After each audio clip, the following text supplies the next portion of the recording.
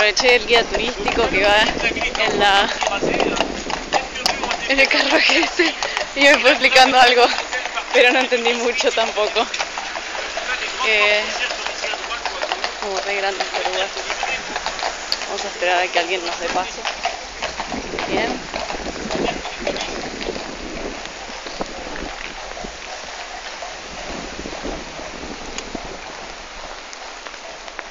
Mira qué es esto, hay gárgolas. Zapado. Más arriba también hay gárgolas. Bien, acá estoy en la entrada. Dice con unas estatuas y muchos angelitos allá arriba. Pero una cosa muy. con muchísimo detalle y muy grande. Y la puerta no parece ser tan antigua. Capaz que fue cambiada. Bueno, acá hay unos locales, unos restaurantes y barcitos chiquitos. Y para allá no sé, más ciudad. Bueno, vamos a entrar. Bien. Hay gente pidiendo en la puerta. Con me sigue pareciendo muy extraño que suceda eso mismo acá.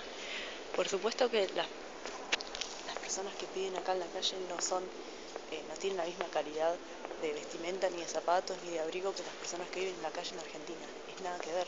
Acá realmente vos mismo te preguntas, ¿pero de verdad vos estás en la calle? Es, es muy loco.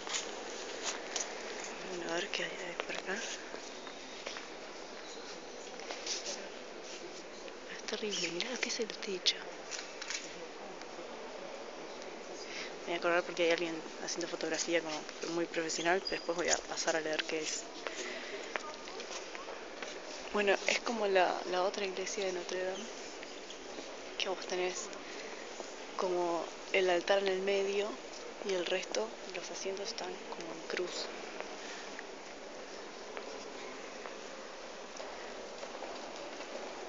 Me impresiona lo alto del techo y bueno, ya es más alto. Y los detalles que hay allá arriba, la hay como unas florcitas. Y acá, bueno, hay pinturas que seguro que son del año, no sé, 1500, una cosa así. Sí, mira, 1600. Terrible. La condición de las paredes es medio rara. Está como medio, medio rota, pero esto debe ser muy, muy antiguo.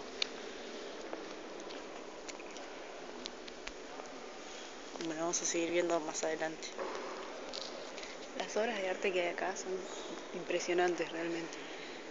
Mira, acá hay como una especie de altar parecería ser. Y tiene muchísimo detalle, está todo como tallado. Hay un cuadro también que parece ser muy, muy, muy viejo. Y el águila esa que me está re gustando. Acá hay algo más interesante que tengo entendido que en esta iglesia hay como una especie de cripta, pero esto es terrible. A ver, me dejo ver si se ve mejor. Es como la tumba de alguien y está rodeada por una especie de, no sé, como leones. Muy zarpado.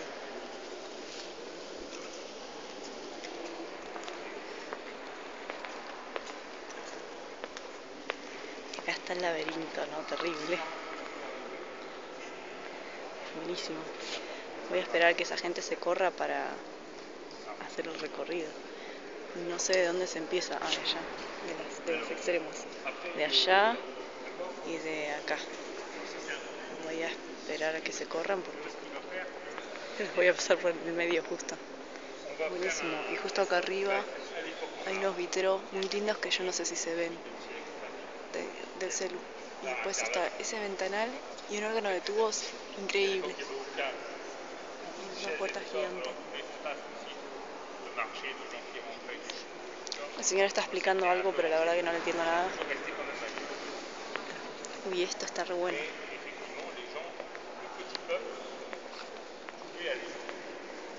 No sé qué es. Hay muchas cosas así doradas eh, en muchos lados, incluso en el exterior. No en este lugar, pero en, en muchas iglesias hay como un ángel como de oro sería en el techo. Muy bueno, no sé qué es. Debe ser para dar dar misa o algo, porque tiene como una escalerita acá. Y acá, ah, bueno, te dice, te dan como una aplicación para que vos uses y recorras, como en el museo, que te, te dan un, un iPod y unos auriculares, entonces vos vas escuchando lo que hay en las instalaciones, en algunas que tienen grabación, tienes como un guía virtual. Es terrible como está hecho, es muy lindo. Aquí es como todo el piso es como medio de laberinto igual, pero el posta es el medio. Acá hay otra obra de arte, también muy grande. Rampas, porque acá se usa mucho la accesibilidad, así que hay rampas en todos lados.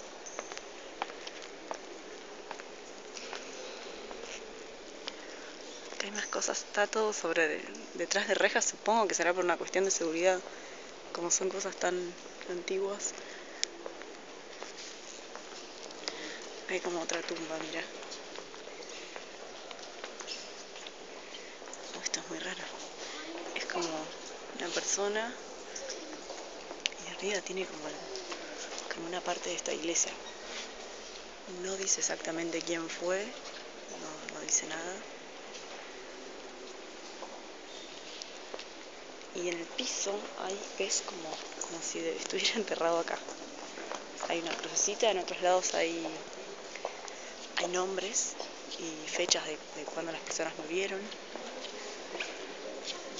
mucho de este arte como tallado como en tres dimensiones. Muy lindo, con mucho detalle, te das cuenta que es muy antiguo pero está completo. En el museo había muchos que estaban rotos, había gente sin brazos, sin cabezas, por ejemplo. Todo muy lindo. Bueno, y acá es como también lo que yo dije recién, como una tumba en el piso. Está en latín, así que mucho no se entiende, pero es como bastante grande y como que hay varias descripciones.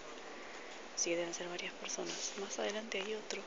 Después hay como un monumento gigante a la Virgen. Enorme. O sea, el tamaño de los chicos y el tamaño de esto.